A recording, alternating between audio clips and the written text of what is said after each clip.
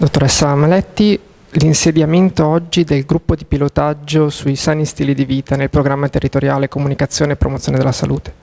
Sì, come definito dalla conferenza territoriale sociosanitaria nella riunione del 20 maggio 2011, oggi è stato istituito questo gruppo di pilotaggio, formato dal, dall'assessore provinciale e dagli assessori al welfare e alla sanità dei sette eh, comuni capi distretto di questa provincia, proprio per coordinare insieme all'azienda USL che ne è referente tecnico appunto tutti i programmi e tutte le iniziative che verranno fatte sui sali stili, stili di vita in questa provincia quindi la promozione della salute con gli indirizzi degli enti locali.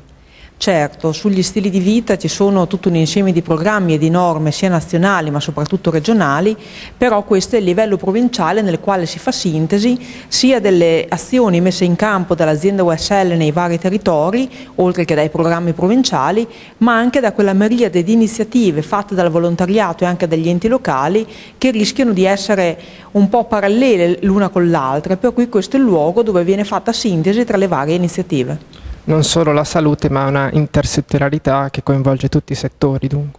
Certo, beh, se noi parliamo di salute, di sali stili di vita, non si può parlare solo di, di, sanità o solo di sociale, ma vuol dire un benessere sui nostri territori, questo vuol dire la sinergia di tutte le politiche messe in campo.